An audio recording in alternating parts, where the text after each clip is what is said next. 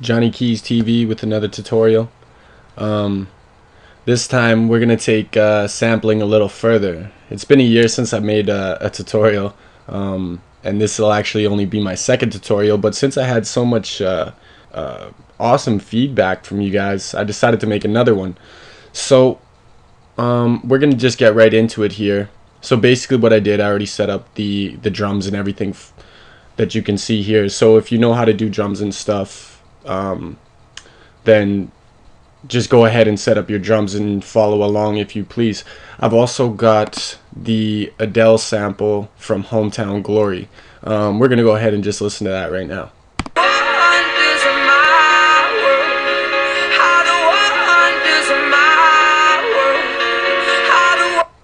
And that's the part of the sample that I chose that I just want to uh, use to show you guys. So what I'm going to do is actually to get more of a, a, human feel to your drums, I'm going to just teach you a quick little thing. So if we actually just play the drums how they are,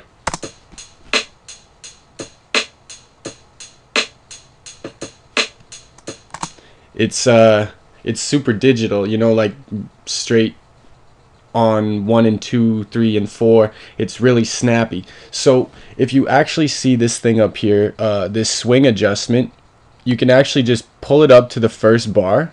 That's usually where I leave it at. I don't like to go too much higher unless I'm trying to go really abstract with my beats. But I recommend this for if you're just trying to sample a little bit, make it more human. So go ahead and listen to that. You'll notice it in the double kick here. And uh, I'm going to turn it up all the way just so you can hear how it sounds.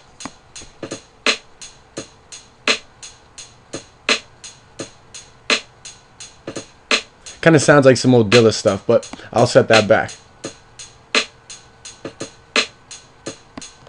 So I'll leave it like that.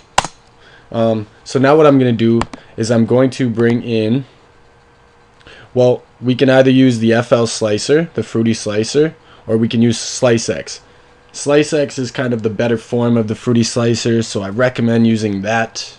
Um, so let's go ahead and choose Slice X. Now, with Slice X, you can see all this craziness. Um, don't really adjust nothing until we've got our sample in there. And in order to bring your sample in there, all you got to do is click on your sample, click on the sample itself, click and drag it in, drop it in. Now you're going to see these bars come up in here. Um, what I want you to do is just go ahead is cut those out of there because we don't want them. It's got these auto cuts. I don't like how it does that. I know a lot of you are gonna trip out over the tempo. Um, but let me show you how to do that. So there's this thing right here that's got this or sorry this one that's got the knife with the with the marker there. So what we're gonna do is go ahead and right click on that and just go to medium grid slicing now it's not exactly on the beats but this is where we need to make our own adjustments so we've counted it out before. So if you actually just want to go ahead and play it. Oh, sorry, I forgot about that. We can actually just go ahead and cut this.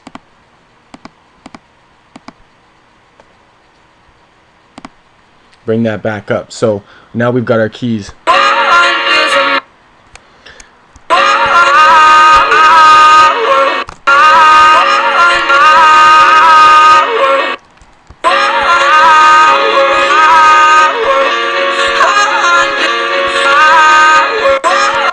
You know what? It actually chopped it up pretty nice. So I'm just going to go ahead and leave it like that. Um, except I'm just going to turn the sample down because it's going to be a little more powerful than our drums.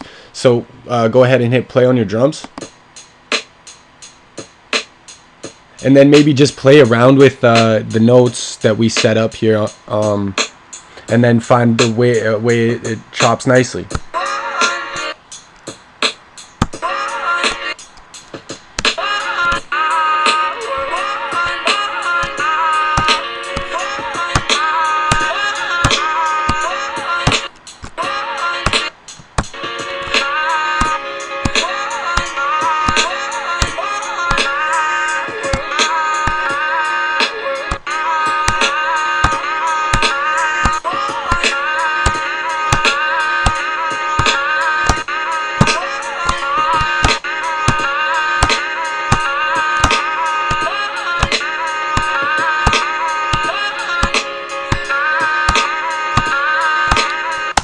So I kind of got something nice going on there. Um, so I'm just going to go ahead and record that in. So we click record. We're going to draw on our drums. We're going to make it 8 bars. And then I'm going to click song, pattern 2. I think it was...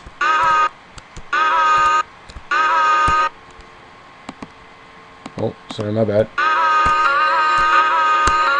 That I like the most. And then throw this every once in a while.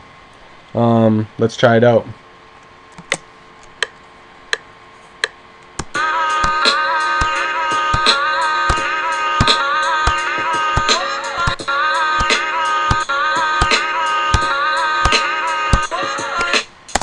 So all I did there was play it on my keyboard um, to the way I had the sample chopped. So what we're going to do is you can actually see that it's not quite on time. I was a little sloppy. So we're going to go ahead and uh, Control A, we'll highlight that all. Shift Q, quantize that. And then we're going to fix the ones that messed up. Just shift these over just a tiny bit if they're not right on the line.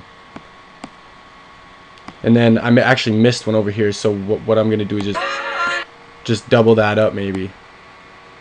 And maybe even just go crazy here at the end. Just to give it some variance, right? So now we're going to go back to our playlist. We're going to double that up just to fill up the drums. Take record off. Hit play.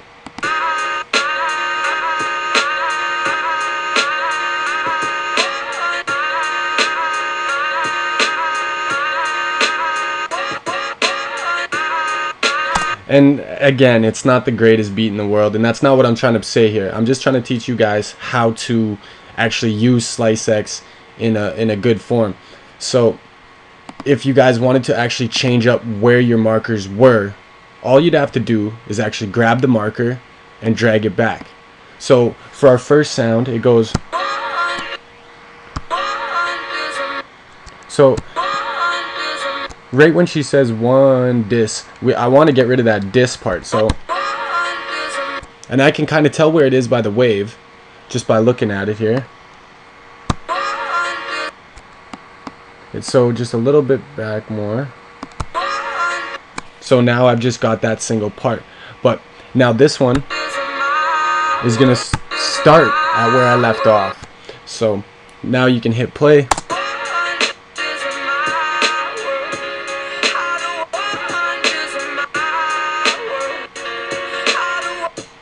So as you can see, it changed it up a bit. Again, it sucks terribly bad.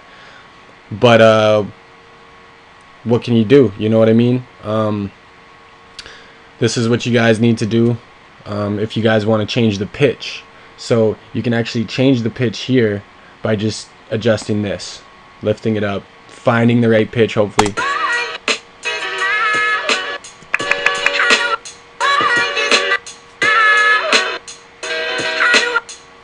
But when you do that, it's also going to change the speed and how fast the sample plays. Um, that's actually one thing I don't know how to adjust, and it's how fast the the song actually moves. Maybe this one. No, I guess not. Um, so what I'm gonna do is actually just go ahead and show you another cool technique that you can do for when you're sampling. So what I'm gonna do is actually add a I'm gonna go ahead and throw this in channel 3 for now. Or no we'll go 5 because I don't have any drums on that one. And then I'm just gonna add like a delay to it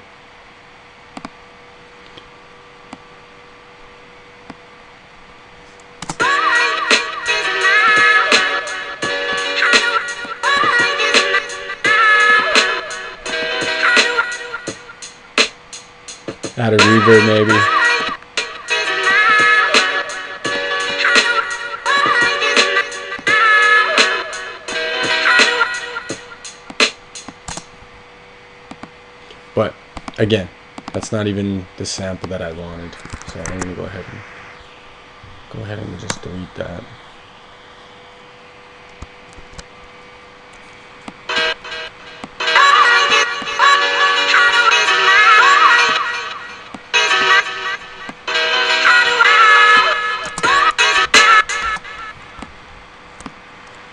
This is another way. You just go into your piano roll and start chopping away, making them a decent length or any length that you want to.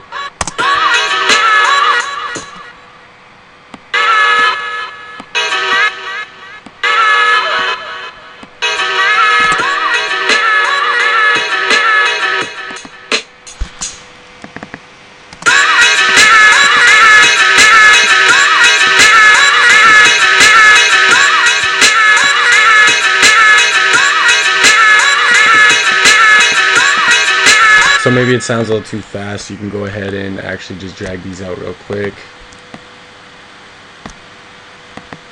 Maybe bring this one back. Maybe go like this for this one.